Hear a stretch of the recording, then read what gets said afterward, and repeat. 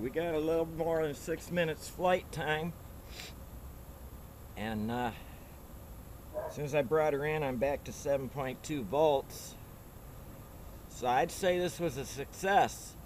Don't plan on flying too long, or don't go too far. And uh, I'll try balancing the props or something and see if we can get some of that wobble out of there. Talk to you later.